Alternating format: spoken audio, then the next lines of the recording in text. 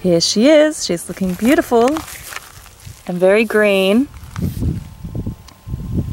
Um,